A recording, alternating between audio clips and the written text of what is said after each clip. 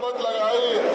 आदिलों मेरे मौला का आलम ये था कि खाके मस्जिद उठा उठा कर अपने जख्मे सर में भरते जाते थे और कहते जाते थे, पुस्तो में रबिल काबा।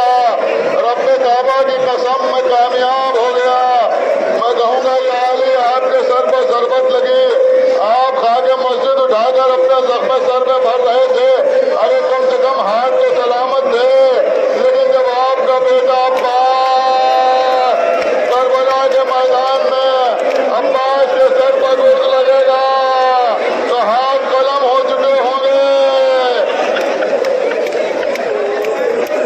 आप उस तरह से शबी ताबूत को लेके आए जिस तरह से सरकार हसनैन करीमैन अपने बाबा को अपने बाबा को जिनके सर पर सरबत देख चुकी थी।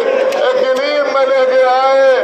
इसीलिए ऐसे ताबूत गलीम कहा जाता है। एक गलीम में लिटा के अपने बाबा को लेके आए।